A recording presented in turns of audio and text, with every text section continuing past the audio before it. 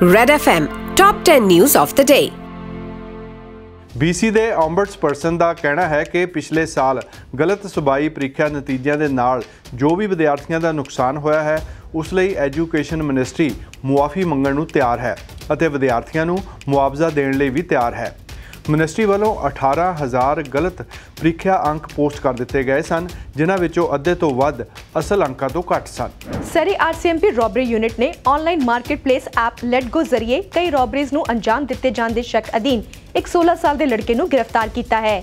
ਚਾਰ ਰੋਬਰੀਜ਼ 15 ਮਾਰਚ ਤੋਂ 27 ਜੂਨ ਵਿਚਕਾਰ ਹੋਈਆਂ, ਜਦੋਂ ਦਿਨ ਦਿਹਾੜੇ ਹਾਈ ਵੈਲਿਊ ਸੈੱਲ ਫੋਨਸ ਦੀ ਆਨਲਾਈਨ ਡੀਲ ਨੂੰ ਨੇਪਰੇ ਚਾੜਨ ਲਈ ਸਸਪੈਕਟਸ ਵਿਕਟਮ ਨੂੰ ਮਿਲਿਆ ਅਤੇ ਵਿਕਟਮਸ ਦੀਆਂ ਅੱਖਾਂ ਵਿੱਚ ਬੀਅਰ ਸਪਰੇ ਪਾ ਸੈੱਲ ਫੋਨ ਸਮੇਤ ਫਰਾਰ ਹੋਇਆ।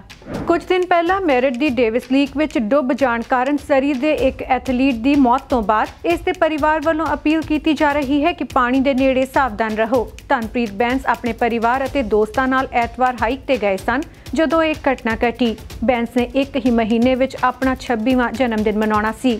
ਪਰ ਸਵਿਮਿੰਗ ਆਉਣ ਦੇ ਬਾਵਜੂਦ ਪਾਣੀ ਵਿੱਚ ਡੁੱਬਣ ਕਾਰਨ ਧਨਪ੍ਰੀਤ ਬੈਂਸ ਦੀ ਮੌਤ ਹੋ ਗਈ। ਸਾਲ 2017 ਵਿੱਚ ਈਸਟ ਵੈਨਕੂਵਰ ਵਿੱਚ ਬੇਬੀ ਮੈਕ ਦੀ ਡੇ ਕੇਅਰ ਵਿੱਚ ਮੌਤ ਸੰਬੰਧੀ ਡੇ ਕੇਅਰ ਆਪਰੇਟਰ ਸੂਜ਼ੀ ਯਾਸਮਿਨ ਸਾਦ ਨੂੰ ਲੰਗੇ ਬੁੱਧਵਾਰ ਕੋਰਟ ਵਿੱਚ ਪੇਸ਼ ਕੀਤਾ ਗਿਆ। ਸਾਦ ਤੇ failure to provide necessary of life ਅਤੇ 5000 ਡਾਲਰ ਦੇ ਫਰਾਡ ਚਾਰजेस ਲਾਏ ਗਏ ਹਨ। 16 ਮਹੀਨੇ ਦੇ ਬੇਬੀ ਮੈਕ ਦੀ ਅਨਲਾਇਸੈਂਸ ਡੇ ਕੇਅਰ ਵਿੱਚ ਇਲੈਕਟ੍ਰਿਕ ਵਾਇਰ ਨਾਲ ਚੋਕ ਹੋਣ ਕਾਰਨ ਮੌਤ ਹੋ ਗਈ ਸੀ। BC ਫਾਇਰ ਸਰਵਿਸਿਜ਼ ਮੁਤਾਬਿਕ ਤਾਪਮਾਨ ਦੇ ਪਾਰੇ ਵਿੱਚ ਗਿਰਾਵਟ ਫਾਇਰ ਫਾਈਟਰਸ ਨੂੰ ਮਦਦ ਦੇ ਰਹੀ ਹੈ ਤਾਂ ਕਿ ਦੱਖਣੀ ਪੈਂਟਿਕਟਨ ਅਤੇ ਵਾਈਲਡ ਫਾਇਰ ਵਿਚਕਾਰ ਦੂਰੀ ਬਣਾਈ ਜਾ ਸਕੇ। ਜਿੱਥੇ 300 ਪ੍ਰਾਪਰਟੀਆਂ ਖਾਲੀ ਕਰਵਾਈਆਂ ਜਾ ਚੁੱਕੀਆਂ ਹਨ ਅਤੇ 400 ਲੋਕਾਂ ਨੂੰ ਘਰ ਖਾਲੀ ਕਰਾਉਣ ਲਈ ਤਿਆਰ ਰਹਿਣ ਨੂੰ ਕਿਹਾ ਜਾ ਚੁੱਕਿਆ ਹੈ। ਫਰੇਜ਼ਰ ਵੈਲੀ ਵਿੱਚ ਹਾਈਕਿੰਗ ਦੌਰਾਨ ਇੱਕ ਗਰੁੱਪ ਤੇ ਦਰਖਤ ਡਿੱਗਣ ਕਾਰਨ ਇੱਕ 5 ਸਾਲ ਦੇ ਬੱਚੇ ਦੀ ਮੌਤ ਹੋ ਗਈ। ਇਹ ਹਾਦਸਾ ਮੰਗਲਵਾਰ ਨੂੰ ਯੈਰੋ ਟ੍ਰੇਲ ਤੇ ਹੋਇਆ ਅਤੇ ਇਸ ਹਾਦਸੇ ਵਿੱਚ 22 ਵਰਿਆਂ ਦੀ ਇੱਕ ਔਰਤ ਵੀ ਜ਼ਖਮੀ ਹੋਈ।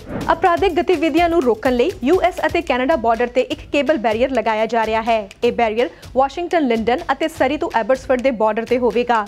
ਅਧਿਕਾਰੀਆਂ ਮੁਤਾਬਿਕ ਗੈਰ ਕਾਨੂੰਨੀ ਤਰੀਕੇ ਨਾਲ ਦੇਸ਼ ਵਿੱਚ ਦਾਖਲ ਹੋਣ ਵਾਲੇ ਲੋਕਾਂ ਤੇ ਠੱਲ ਪਾਉਣ ਲਈ ਇਹ ਕਦਮ ਚੁੱਕਿਆ ਗਿਆ ਹੈ। ਸੈਨੇਟਰ ਕਮਾਲਾ ਹੈਰਿਸ ਨੇ ਅਮਰੀਕਾ ਦੇ ਉਪ ਰਾਸ਼ਟਰਪਤੀ ਦੀ ਚੋਣ ਲਈ ਡੈਮੋਕ੍ਰੈਟਿਕ ਪਾਰਟੀ ਦੀ ਉਮੀਦਵਾਰੀ ਸਵੀਕਾਰ ਕਰ ਲਈ ਹੈ ਅਤੇ ਇਸ ਦੇ ਨਾਲ ਹੀ ਉਹ ਵੱਡੀ ਰਾਜਨੀਤਿਕ ਪਾਰਟੀ ਤੋਂ ਇਸ ਮਹੱਤਵਪੂਰਨ ਰਾਸ਼ਟਰੀ ਟਿਕਟ ਪ੍ਰਾਪਤ ਕਰਨ ਵਾਲੀ ਪਹਿਲੀ ਭਾਰਤੀ ਅਮਰੀਕੀ ਅਤੇ ਬਲੈਕ ਔਰਤ ਬਣ ਗਈ ਹੈ। ਯੂਐਸ ਪ੍ਰੈਜ਼ੀਡੈਂਟ ਡੋਨਲਡ ਟਰੰਪ ਨੇ ਕੋਰਟ ਦੇ ਇਸ ਫੈਸਲੇ ਦੀ ਸਖਤ ਨਿਖੇਧੀ ਕੀਤੀ ਹੈ, ਜਿਸ ਵਿੱਚ ਪ੍ਰੋਸੀਕਿਊਟਰਸ ਉਹਨਾਂ ਦੇ ਟੈਕਸ ਰਿਟਰਨਸ ਵੇਖ ਸਕਣਗੇ। ਟਰੰਪ ਨੇ ਇਸ ਅਦਾਲਤੀ ਫੈਸਲੇ ਨੂੰ ਰਾਜਨੀਤਿਕ ਸਾਜ਼ਿਸ਼ ਦੱਸਿਆ, ਪਰ ਟਰੰਪ ਦੇ ਵਕੀਲ ਵੱਲੋਂ ਇਸ ਫੈਸਲੇ ਖਿਲਾਫ ਕੋਰਟ ਵਿੱਚ ਅਪੀਲ ਵੀ ਕੀਤੀ ਜਾਵੇਗੀ। ਪੂਰਬੀ ਲਦਾਖ ਵਿੱਚ ਅਸਲ ਕੰਟਰੋਲ ਰੇਖਾ ਤੇ ਜਾਰੀ ਤਲਖੀ ਦਰਮਿਆਨ ਭਾਰਤ ਅਤੇ ਚੀਨ ਨੇ ਅੱਜ ਸਫਾਰਤੀ ਪੱਧਰ ਤੇ ਇੱਕ ਹੋਰ ਗੇੜ ਦੀ ਗੱਲਬਾਤ ਕੀਤੀ।